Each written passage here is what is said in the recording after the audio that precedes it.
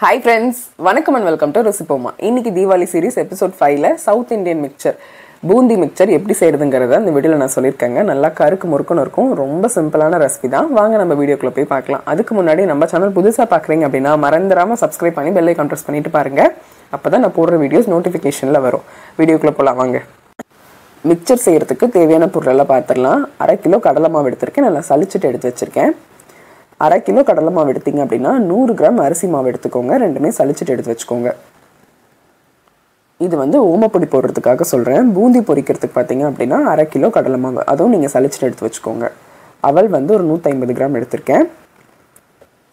வேர்க்கடலை ஒரு நூறு கிராம் பொட்டுக்கடலை நூறு கிராம் முந்திரி வந்து ஒரு அறுபது கிராம் மேலே எடுத்திருக்கேங்க. பூண்டு தட்டி எடுத்து வச்சுருக்கேன். தோலோடு போட்டிங்க அப்படின்னா டேஸ்ட்டாக இருக்கும் மணமாகவும் இருக்கும். கொஞ்சமாக கருவேப்பிலை. மஞ்சத்தூள் வரமிளகாத்தூள் உப்பு. கொஞ்சமாக பெருங்காயத்தூள். இவ்வளோ தாங்க தேவையான பொருள். இப்போ எப்படி செய்கிறதுங்கிறத பார்த்துடலாம் ஓமப்பொடிங்கிறது ஒன்றும் இல்லை. குச்சி குச்சியாக இருக்கும்ல அதுக்கு பேர் தான் ஓமப்பொடி. பூந்திக்கு இதே மாதிரி அரை கிலோ கடலை மாவு மட்டும் எடுத்து வச்சுக்கோங்க. அரிசி மாவையும் கடலை மாவையும் நல்லா சளிச்சுக்கோங்க.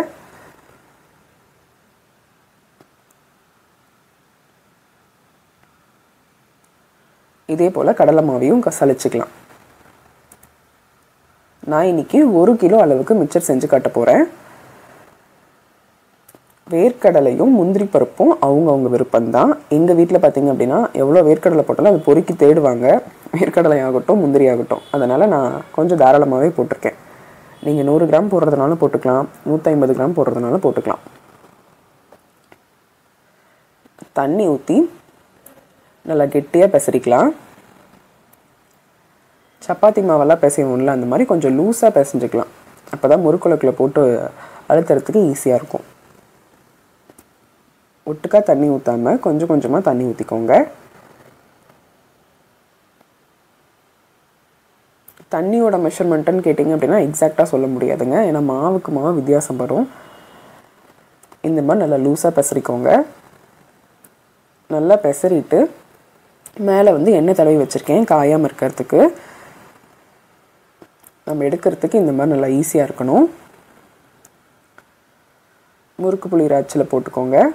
அதே மாதிரி முறுக்கு புளி அச்சுக்குள்ளே எண்ணெய் நீங்கள் அப்ளை பண்ணிக்கோங்க.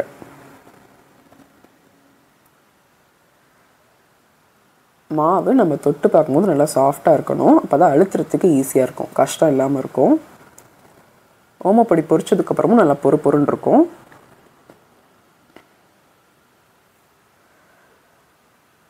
கம்மியாக இருக்குது அதனால இன்னும் கொஞ்சம் உருட்டி போட்டுக்கிறேன். நீங்கள் ஒரு கிலோ போட்டிங்கனாலே எவ்வளோ மிக்சர் வருதுன்னு பாருங்கள் வீட்லேயே செஞ்சிடலாம். தீபாவளிக்கு நீங்கள் வீட்லேயே செஞ்சு பாருங்கள் ரொம்ப நல்லாயிருக்கும் ஆனால் இப்போ மழை காலத்தில் காற்று போகாம மட்டும் பார்த்துக்கோங்க ஒரு டிஃபன் பாக்ஸில் போட்டு ஸ்டோர் பண்ணிக்கோங்க. கொஞ்சமாக இன்னொரு பாக்ஸில் வச்சுக்கோங்க.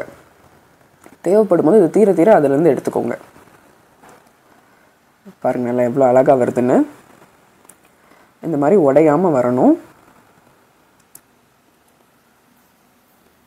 உங்களுக்கு தெரியுதா?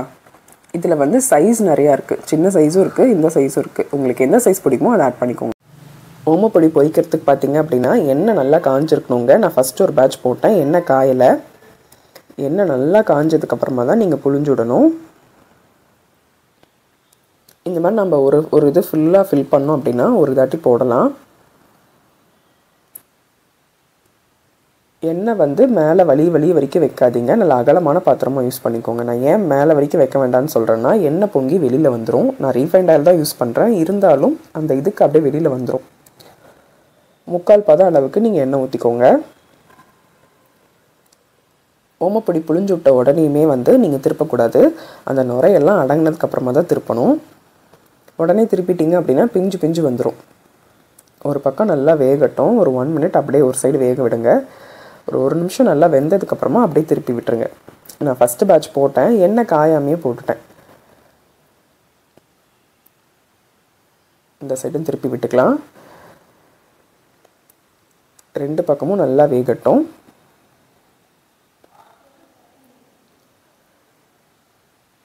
பாருங்கள் நல்லா வெந்துருச்சு. இந்த சைடும் நுரையெல்லாம் அடங்கிருச்சு. ஒரு அரிகரண்டி வச்சு நல்லா அரிச்சிக்கலாம். நல்லா எண்ணெய் சுட்டுது பாருங்கள் அதை கம்ப்ளீட்டாக வடிச்சதுக்கப்புறம் ஒரு ஓட்டை போட்டு வச்சுக்கோங்க. அதே மாதிரி நீ மிக்சர் வந்து நீங்கள் ஒரு பேட்ச் போடுறீங்க அப்படின்னா அதே போல் தான் எல்லா ட்ரிப்பும் எடுக்கணும். ரொம்ப செவந்த மாதிரி எடுக்காதீங்க. ஓரளவுக்கு செவந்த மாதிரி எடுங்க.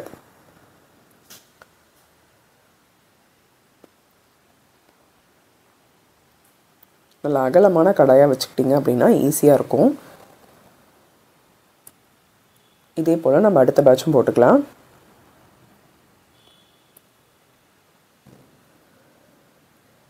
முறுக்கு புளிகிற அச்சை வந்து ரொம்ப தள்ளிக்காதீங்க. இந்த மாதிரி கொஞ்சம் பக்கத்தில் வச்சுக்கோங்க. அப்போ தான் ஈஸியாக இருக்கும்.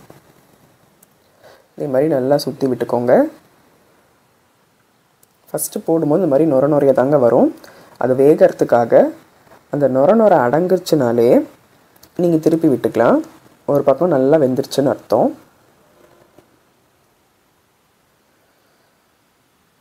பாருங்கள் நம்ம ஃபஸ்ட்டு போட்டப்போ எப்படி இருந்துச்சு? இப்போ பாருங்கள் இது தாங்க ஓமப்பொடி லைட்டாக தொட்டாலே உடஞ்சிரும். ஓமப்பொடி இதே போல் பொறிச்சு எடுத்தாச்சுங்க இப்போ வந்து நம்ம பூந்தி எப்படி பொரிக்கிறதுங்கிறத பார்க்கலாம். அரை கிலோ மாவு சளிச்சு எடுத்திருக்கேன். இதில் வந்து தண்ணி யூஸ் பண்ணிக்கோங்க. பாருங்கள் அரை கிலோ மாவுக்கு நமக்கு எவ்வளோ ஓமப்பொடி கிடச்சிருக்குன்னு. நான் ஆறு தாட்டி புழிஞ்சு விட்டேன். எவ்வளோ வருதுன்னு பாருங்கள் கடலை மாவை நல்லா சளிச்சு எடுத்து வச்சுருக்கேங்க. இதில் தண்ணி ஊற்றி நல்லா தோசை மாவு பக்குவத்தை கரைச்சிக்கலாம். கட்டி இல்லாமல் கரைச்சி எடுத்துக்கோங்க. இந்த மாதிரி ப பதத்தில் இருக்கணும். ரொம்ப தண்ணியாட்ட போயிடுச்சு அப்படின்னா சப்பட்டையாக போயிருங்க. பூந்தி வந்து முத்து முத்தாக வராது. பூந்தி பொரிக்கிறதுக்கு எண்ணெய் நல்லா காஞ்சிருக்கணும். இந்த பூந்தி பொரிக்கிற கரண்டி இருக்கும். கடைகளில் கேட்டு வாங்கிக்கோங்க. இல்லைனா நீங்கள் வீட்டில் வச்சுருக்க அரிகரண்டியை யூஸ் பண்ணிக்கோங்க. இந்த மாதிரி வாங்கிட்டு எண்ணெய் நல்லா காஞ்சதுக்கப்புறமா அந்த கரைச்சி வச்சுருந்த கடலை மாவுலேருந்து நல்லா கலக்கிட்டு ஒரு ஒரு டம்ளராக ஊற்றுங்க பாருங்கள் கீழே நல்லா முத்து முத்தாக வருது. அதே மாதிரி அந்த கரண்டியை ஒரு ஒரு டைமும் நீங்கள் தொடச்சி தொடச்சி தான் யூஸ் பண்ணணும். ஏன்னா அடுப்புக்கிட்ட போகும்போது எப்படியும் மா அந்த ஹீட்டோட இது மாவு வெந்துடும் அதனால் நீங்கள் ஒரு ஒரு டைமும் நல்லா கை வச்சு தொடச்சி விட்டு போட்டுக்கோங்க. பூந்தி பொரிக்கிறதுக்கு எண்ணெய் நல்லா காஞ்சிருந்தா தான் நம்ம போட்ட உடனே டப்புன்னு மேலே வரும். நல்லா முத்து முத்தாக வரும் பாருங்கள் எல்லா சைடும் ஒரே மாதிரி வேகட்டும். நான் வந்து மாவு கலக்கும் போது உப்பு காரம் எதுவும் போட மாட்டேங்க. பொறிச்சு எடுத்ததுக்கப்புறமா தான் உப்பு காரம்லாம் கலப்பேன். இது பாருங்கள் நல்லா மிக்ஸ் பண்ணி விட்டுக்கலாம். நல்லா வேகட்டும் பொறு பொறுன்னு இருக்கணும். ஆனால் லட்டுக்கு பார்த்தீங்க அப்படின்னா பதம் ஓரளவுக்கு அரைப்பதம் வெந்தாலே போதும். பூந்திக்கு பார்த்தீங்க அப்படின்னா நல்லா வேகணும். இந்த நுர நுரப்பு சலசலப்பெல்லாம் அடங்கினதுக்கப்புறமா அதை நம்ம எடுக்கணும்.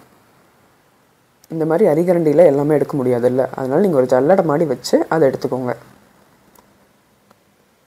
நல்லா குக் ஆகட்டும். அடுத்த பேட்ச் போடுறதுக்குள்ளே நம்ம தொடச்சாச்சு. பாருங்கள் நல்லா பொறு பொறுன்னு ஆயிடுச்சு. எண்ணெயெல்லாம் வடிச்சுட்டு எடுத்து வச்சுக்கோங்க. இந்த மாதிரி ஒரு ஓட்டை குண்டால் போட்டு வச்சுக்கோங்க. நல்லா பெரிய அரிகரண்டி வச்சுருந்தீங்கனாலும் அதை யூஸ் பண்ணிக்கோங்க. அரை கிலோ மாவு போட்டதுக்கப்புறம் பொரிச்சதுக்கப்புறம் பாருங்கள் நமக்கு எவ்வளோ வந்திருக்குன்னு. இது நல்லா வடித்து எடுத்து வச்சுக்கலாம். பாருங்கள் முத்து முத்தாக வந்திருக்கு. இதே மாதிரி மெத்தடில் நீங்களும் ஃபாலோ பண்ணுங்கள் மற்றதெல்லாம் நான் உங்ககிட்ட பொறிச்சு காட்டுறேன். எண்ணெய் நல்லா காஞ்சிருச்சு இப்போ அவல் போட்டு பொரிச்சுக்கலாம். அவளை வந்து நீங்கள் நல்லா சலிச்சிட்டு போடுங்க. ஏன்னா நிறையா மண் தூசெல்லாம் இருக்கும். நல்லா சளிச்சு எடுத்து வச்சுருக்கேன். அது வந்து வடை சட்டியில் போட்டு நல்லா பொரிச்சிக்கலாம். இந்த மாதிரி ஒரு ஃபில்டரில் போட்டு நல்லா இப்படி சளிச்சிங்க அப்படின்னா அதில் இருக்க குப்பையெல்லாம் கீழே வந்துடும் அதுக்கப்புறமா நீங்கள் யூஸ் பண்ணிக்கோங்க. இல்லைன்னா நீங்கள் வெயிலில் காய வச்சு முரத்தில் சளிச்சு கூட நீங்கள் யூஸ் பண்ணிக்கோங்க. அவள் நிறைய எண்ணெய் இழக்கும். நல்லா கம்ப்ளீட்டாக எண்ணெயை வடிச்சிருங்க. போட்ட உடனேமே அவள் எடுத்துருங்க. இல்லைன்னா கலர் மாறிடும். பாருங்கள் நமக்கு இந்த அளவுக்கு கிடச்சிருக்கு. சூடாக இருக்கும் போதே நம்ம மஞ்சள் தூள் போட்டு மிக்ஸ் பண்ணிடலாம். இல்லைனா கலர் வராதுங்க. கரண்டி இல்லை கை யூஸ் பண்ணி நல்லா கிளறி விட்டுருங்க. நம்ம என்னதான் தீபாவளிக்கு இனிப்பு செஞ்சாலும் காரமும் நம்ம செய்யணும்ல. மிக்சர் வந்து ரொம்ப ரொம்ப ஈஸி நீங்கள் ஒரு கிலோ போட்டிங்க அப்படின்னால எவ்வளோ வருது பாருங்கள்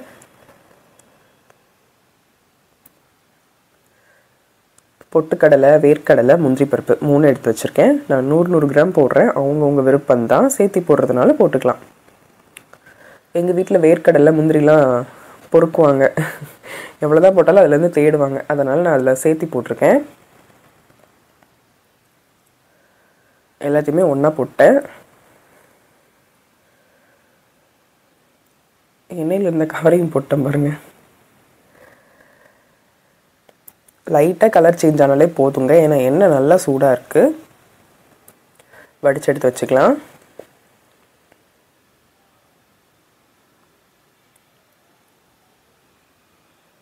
தீபாவளி பலகாரம்லாம் நீங்கள் செய்ய ஸ்டார்ட் பண்ணிட்டீங்களா? என்னோட தீபாவளி சீரிஸ் ஏதாவது பார்த்து செஞ்சுருக்கீங்களா? இல்லையாங்கிறது கமெண்ட் செக்ஷனில் தெரியப்படுத்துங்க. நல்லா பொரிஞ்சிருச்சு. இப்போ கம்ப்ளீட்டாக வடிச்சு எடுத்துக்கலாம். இந்த மாதிரி ஒரு ஃபில்டர் வச்சுக்கிட்டிங்க அப்படின்னா நல்லா பொரிய பொரிய எடுத்து போட்டிங்க அப்படின்னா அது பாட்டு கம்ப்ளீட்டாக எண்ணெய் விடைஞ்சிக்கிட்டே இருக்கும். இப்போ பார்த்தீங்க அப்படின்னா நான் பூண்டு போட போகிறேங்க பூண்டை நல்லா இடிச்சிட்டு தோலோடு போட போகிறேன் எங்களுக்கு பூண்டு ஃப்ளேவர் பிடிக்கும் அதனால் நான் பூண்டு போடுறேன். பட் பூண்டு போட்டால் டேஸ்ட் வேறு லெவலில் இருக்கும். ட்ரை பண்ணி பாருங்கள் ஒரு சிலர் பூண்டு போட மாட்டாங்க. ஆனால் எங்களுக்கு பூண்டு போட ரொம்ப பிடிக்கும். நாங்கள் பொரி வறுக்கும் போதும் பூண்டு போடுவோம். நல்லா மணமாக இருக்கும். மிச்சர் ரொம்ப ஃப்ளேவர்ஃபுல்லாக இருக்கும். ஒரு நாலு கட்டி பூண்டை தட்டி ஆட் பண்ணியிருக்கேன். நல்லா பூண்டு பொரிஞ்சதுக்கப்புறம் எடுத்துக்கலாம். அதே மாதிரி நீங்கள் பூண்டு தோலோட போடுறனால கழுவிடாதீங்க. படப்படப்படன்னு எண்ணெய் தெரிக்கும். அவ்வளோதான் பூண்டு நல்லா கம்ப்ளீட்டாக பொரிஞ்சிருச்சு. எண்ணெயெல்லாம் வடிச்சிட்டு எடுத்து வச்சுக்கலாம். இப்போ கடைசியாக கருவேப்பிலை போட்டுக்கலாம். கருவேப்பிலை போடும்போது இந்த மாதிரி உள்ளுக்குள்ளே வச்சு போட்டுருங்க. சீக்கிரம் படப்படன்னு ஆயிரும் நீங்கள் கருவேப்பிலை பொரிக்கிற மாதிரி இருந்தீங்க அப்படின்னா அடுப்பை ஆஃப் பண்ணிவிட்டு கருவேப்பிலை பொறிச்சிக்கோங்க அவ்வளோதாங்க நம்ம பொறிக்க வேண்டிய பொருள் எல்லாமே பொரிச்சாச்சு. இனிமேல் மிக்சிங் தான். நம்ம ஒரு கிலோ மாவு போட்டிருக்கோம். அரை கிலோ ஓமப்பொடி அரை கிலோ பூந்தி போட்டிருக்கோம். அதுக்கு எவ்வளோ கிடச்சிருக்கு பாருங்கள் இது நம்ம லைட்டாக தொட்டாலே உடஞ்சிரும். அதுவும் இல்லாமல் நம்ம எல்லாம் போட்டு மிக்ஸ் பண்ணும்போது இன்னும் தூள் தூளாக போயிடும் அதனால் ரொம்ப உடைக்க வேண்டாம். நம்ம மிக்ஸ் பண்ணும்போது இன்னும் கம்ப்ளீட்டாக உடைய தான் போகுது. பூந்தி அவல் எல்லாமே நீங்கள் எண்ணெயை கம்ப்ளீட்டாக வடிச்சிட்டு போட்டுக்கோங்க. இந்த மாதிரி ஒரு தாம்பளத்தில் போட்டு வச்சுக்கிட்டிங்க அப்படின்னா போதும். இப்போ எல்லாத்தையும் மிக்ஸ் பண்ணிடலாம் ஒன்று ஒரு அகலமான பாத்திரம் இருந்தால் வச்சுக்கோங்க. இல்லைன்னா நல்லா அகலமாக குளுக்கிற மாதிரி இருந்தால் வச்சுக்கோங்க. எடுத்து வச்சுருக்கதெல்லாம் போட்டு மிக்ஸ் பண்ணிக்க போகிறோம் நல்லா மிக்ஸ் பண்ணிக்கலாம். இது கூடவே நம்ம பொறிச்சு வச்சுருக்க கடலைப்பருப்பு முந்திரி பொட்டுக்கடலை அதையுமே ஆட் பண்ணிக்கலாம். ஏன்னா அது ரொம்ப எண்ணெய் இழுக்கும். இது பாட்டுக்கு வடித்து ஒரு பக்கம் வச்சுருங்க.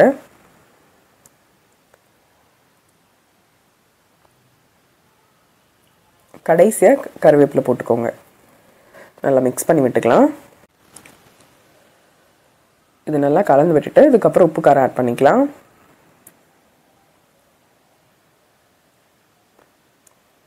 நார்மல் வரமிளகாய் தூள் தாங்க நான் போடுறேன். உங்கள் காரத்துக்கு தகுந்த மாதிரி நீங்கள் போட்டுக்கோங்க. எனக்கு வந்து ரெண்டு டேபிள் ஸ்பூன் கிட்ட தேவைப்பட்டுச்சு காரம். உப்பு வந்து ஒரு ரெண்டு கை போட்டுங்க. போட்டு நல்லா மிக்ஸ் பண்ணிக்கோங்க.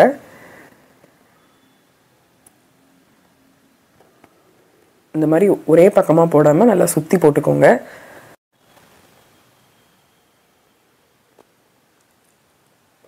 நல்லா மிக்ஸ் பண்ணி விட்டுக்கலாம். அதே மாதிரி நம்ம கையில் ஈரம் இல்லாமல் இருக்கணும். நம்ம எந்த பாத்திரத்தில் செய்கிறோமோ அந்த பாத்திரத்தில் ஈரம் இல்லாமல் இருக்கணும். அதை பார்த்துக்கோங்க நம்ம மிக்சர் செய்கிறத விட ஸ்டோர் பண்ணுறத நம்ம பார்த்து ஸ்டோர் பண்ணணும். ஒரு பெரிய சம்படத்தில் போட்டு வச்சுக்கோங்க. நல்லா டைட்டான மூடியாக போட்டு வச்சுக்கோங்க. இல்லைன்னா நீங்கள் பிளாஸ்டிக் பாக்ஸில் நல்லா பெரிய பாக்ஸில் போட்டு ஸ்டோர் பண்ணிக்கோங்க. ஒரு சின்ன பாக்ஸில் எடுத்து வச்சுக்கோங்க. இது தீர தீர அதுலேருந்து எடுத்துக்கோங்க. அப்போ தான் காற்று போகாமல் நமத்து போகாமல் இருக்கும்.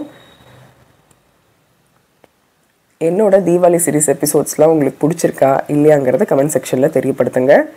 உப்பு காரம்லாம் எல்லா பக்கமும் கலக்கணும்.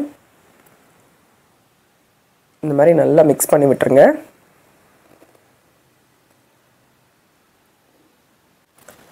டேஸ்ட் பார்த்துக்கோங்க. உப்பு காரம் பத்தலை அப்படின்னா நீங்கள் ஆட் பண்ணிக்கலாம். ஆட் பண்ணிவிட்டு நல்லா மிக்ஸ் பண்ணி விட்டுருங்க. உப்பு போடும்போது மட்டும் பார்த்து போடுங்க. ஏன்னா உப்பு நிறையா போட்டுட்டிங்கன்னா அடியில் போய் நின்றுக்கும் நல்லா குலுக்கி குலுக்கி விட்டு மிக்ஸ் பண்ணிக்கோங்க. கடைசியாக ஃபைனல் டச்சாக கருவேப்பிலையை போட்டுக்கலாம்.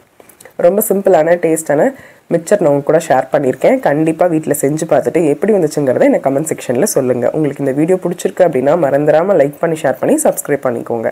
பாய்